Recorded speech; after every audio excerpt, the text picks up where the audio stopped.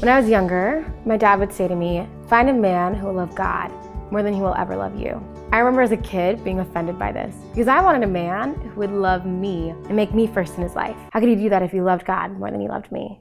Like every young Christian girl growing up, I wanted to be the next girl who converts the bad boy. The guys I started to pursue were not God loving men. And after a while, I'd be left heartbroken, lonely, questioning, will I ever find the one?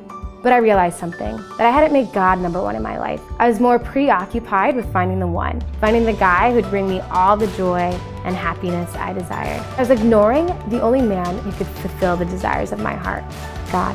And once I realized that I needed to center my life around Christ, the man God was calling me to be with came almost instantaneously. On a white horse, with the sun setting. Okay, totally wrong.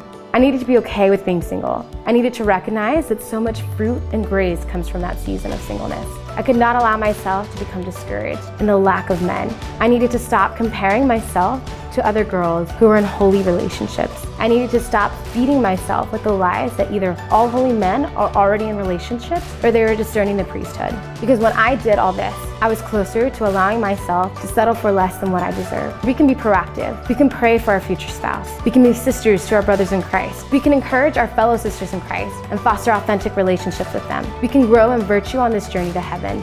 We are the crown jewels of creation. And because of that, we must never settle for anything less than a man who recognizes that we are fierce daughters of a king. A man who upholds everything that a woman is, desires nothing more than our good. A man who sets his standards to that of Christ, not of the world. That man will be able to love us more deeply than any boy who does not live for God. So ladies, be the woman God is calling you to be, so that you can love more deeply, so that you can uphold and love men with the same love they deserve. Find a man who loves God more than he'll ever love you.